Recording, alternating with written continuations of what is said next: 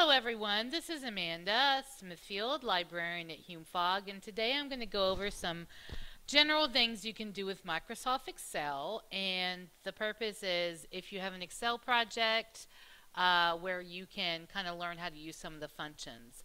Now let me start by saying that there are multiple ways to do something. And so just because I do something one way does not mean that that is the only way to do something. Um, as long as your answer ends up being the same, then hey, it's all good. There's multiple ways to do something. So let's start by showing you, okay, so I've set up a uh, general um, restaurant here and I have prices. I've gone through and I highlighted things. Um, I do want to show you a couple of things that commonly um, kids have trouble with. One of them is how do you um, have the, um, how can you have this where it is the, um, the dollar signs come in. And I want to show you all how to do that. So it's pretty easy. I'm just going to click this, click up at the top. You know, when you click up at the top, it highlights the entire column. And now I'm going to go up here and you can see here that there are different choices here. So I can pick currency, I can pick general.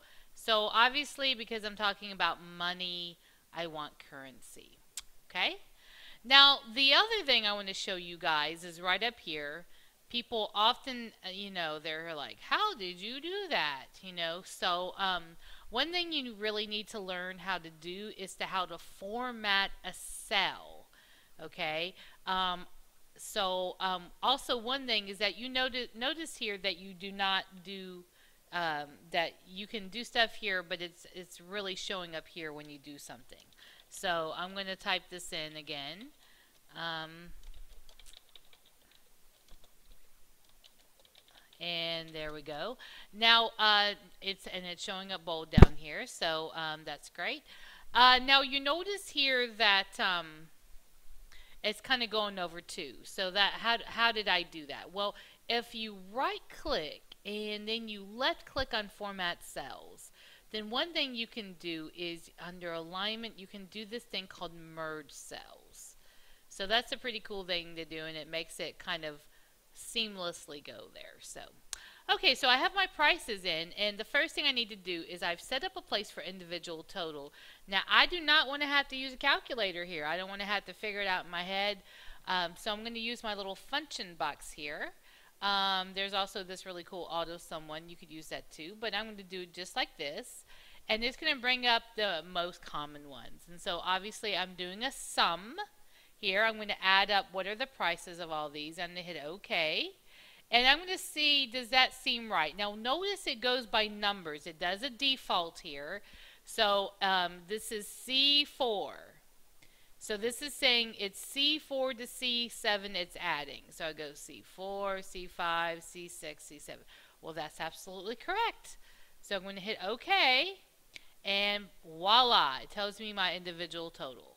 So I'm going to do the same thing in each of these spots. Now, and now if it does it wrong, if it's doing the wrong spots, you, you're going to have to go and fix that. So I'm making real careful sure here that's doing the right spots. C10, C11, C12. That's right.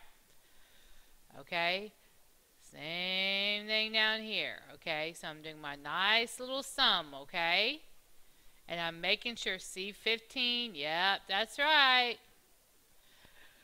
Okay, um, so I've added in, you know, now I'm probably going to go and bold these, you know, um, my, my prices from each of my three, um, my three um, people. So now I need the group total. So how much does all this add up to? Well, let's, let's see if I can figure this out again.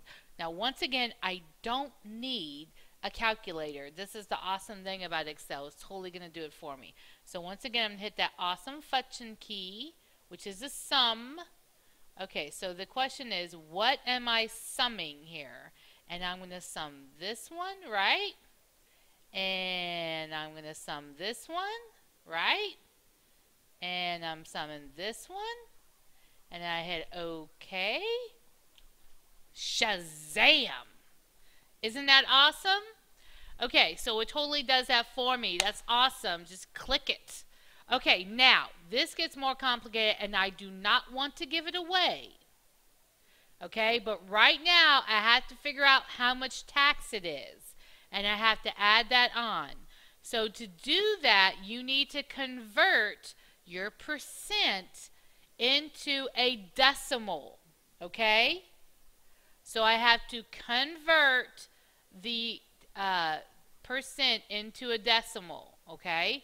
And then I use product, which is another name for multiply, to help me do that. Now, let's say I don't know how to do that, okay? I'm going to click out here and I'm here like, I don't even know what to do. Okay, so I'm going to type in, I'm here like, well, what, you know, how do I figure out how to do that? I'm going to click multiply and guess what? It comes up with a synonym for it, which you know is product. Now you're going to do it the same way that I showed you how to do the sum. I think, well, what am I doing the multiply for? Okay, so I'm going to do this product, okay, and then what am I multiplying? I'm, I'm taking this number, right? Okay, and then what, what am I, what am I timesing, right? I'm doing, right? And then I hit OK and once again it's very easy. Okay so you can totally complete this. Um, you just always have to double check that you use the right cell numbers when you are putting stuff in. And of course you're going to make it look very attractive. But um, that's all there is to it folks. Now if you need me you are totally going to contact me I'm pretty decent at Excel. I still have stuff to learn, but I can help you out with that.